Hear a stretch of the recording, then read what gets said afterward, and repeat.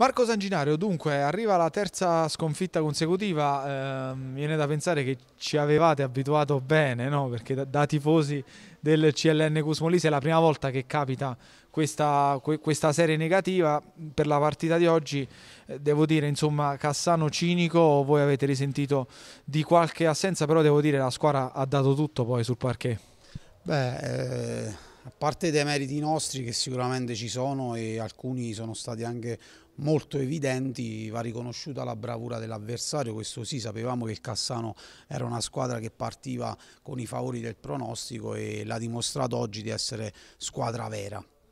Assolutamente sì, naturalmente era un po' giù in classifica questo Cassano, ma d'altronde nel ritorno poi, quasi ritorno perché dobbiamo dire ci troviamo a febbraio, era l'ultima dell'andata, però poi cambiano un po' tutto. Beh, stiamo vivendo un campionato che con eh, l'emergenza sanitaria ha una classifica del tutto bugiarda per vari tipi di ragioni. Anche noi stiamo vivendo un periodo di difficoltà dove abbiamo un'infermeria piena e purtroppo siamo costretti a giocare di martedì e di sabato. Sapevamo che era difficile ma probabilmente non immaginavamo che lo fosse stato così tanto. Questo periodo che stiamo vivendo ora noi l'ha vissuto prima il Cassano, quindi credo che sia una ruota che gira, dobbiamo essere bravi a rimanere compatti e già pensare a sabato perché a questo punto inizia a diventare determinante la vittoria col Tenax. Assolutamente sì, devo dire abbiamo visto in campo Barrichello ma è davvero mh, al 20-30% delle sue possibilità.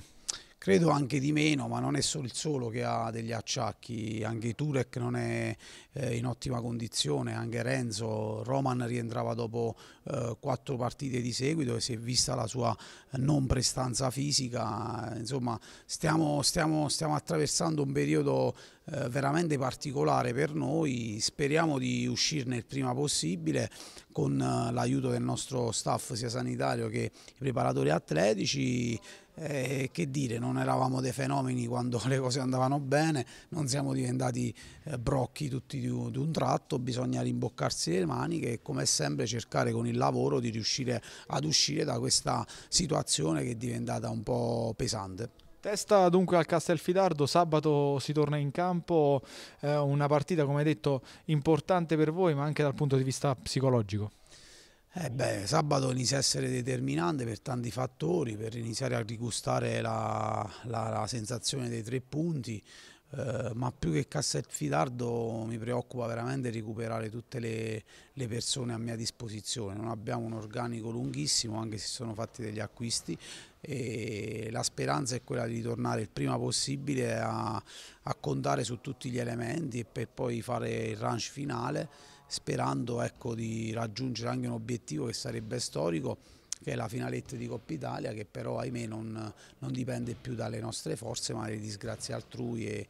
eh, dobbiamo sperare che il Cobba non vinca tutte le partite del recupero, è una cosa che non volevamo però siamo, siamo costretti a vedere gli altri anche se secondo me dobbiamo anche pensare soprattutto a noi in questo momento.